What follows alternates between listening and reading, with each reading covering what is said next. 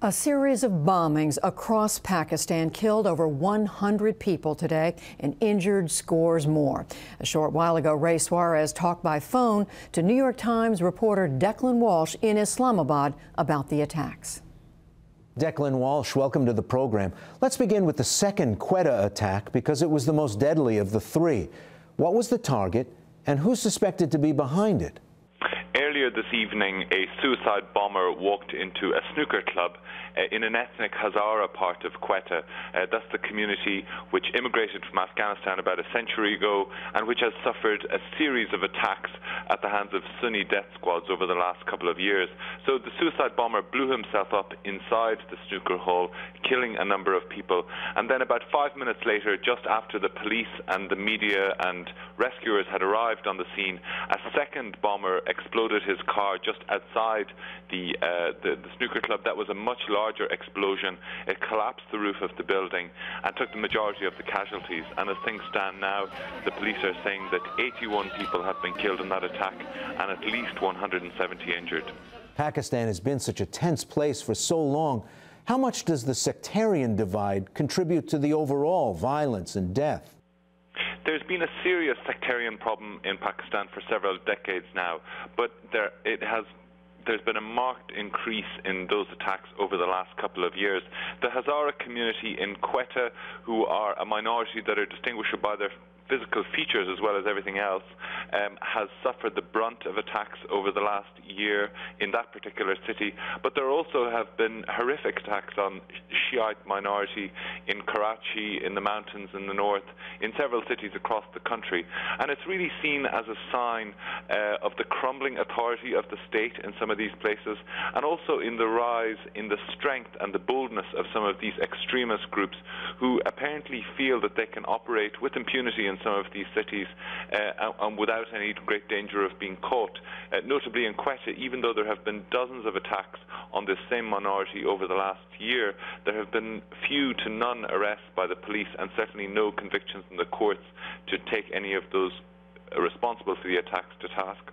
Today there was also an attack on a Sunni mosque. Tell us about that there was an attack in the northwest of the country, in the Swat Valley. That's an area which had been controlled by the Taliban just three years ago until the Pakistani army came in, launched a sweeping operation to push them out. But in recent months, we've seen the Taliban creeping back in. A couple of weeks ago, a couple of months ago rather, we had uh, an attack on the Pakistani schoolgirl Malala Yousafzai, who was shot by the Taliban.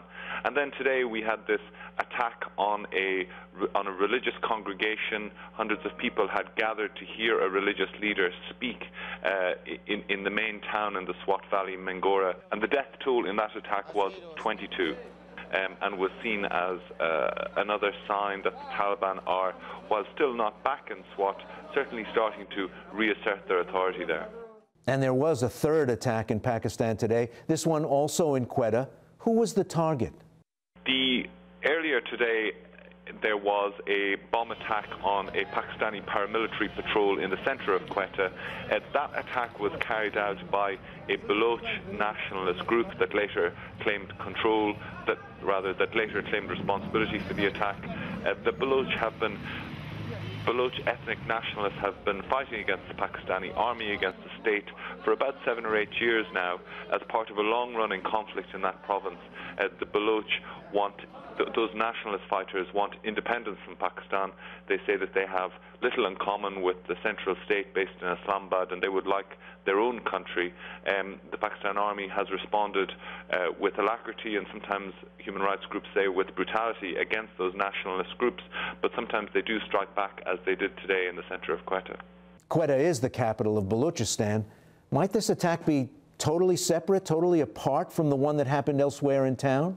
Those two attacks appear to have very little in common. It underscores what a troubled city that is. This is a city where you have brutal sectarian attacks against the Hazara minority, you have ethnic Baloch attacks against the Pakistani army, and it's also a city where uh, there have been persistent allegations that the Afghan Taliban leadership, often known as the Quetta Shura, has been based over the last decade, attack, direct, using that city to direct attacks on NATO and American soldiers inside Afghanistan. What kind of ripple effect could this violence have more broadly for Pakistan? This is a worrying sign for the stability of Pakistan as it enters a very sensitive period. Elections are due to take place within the next three or four months. And there are many Pakistanis who worry that if the security situation continues to spiral out of control, such as it appeared to be doing today, that this could create the circumstances where the political process could be in danger even of being derailed. Declan Walsh reporting from Islamabad. Thanks for joining us. My pleasure.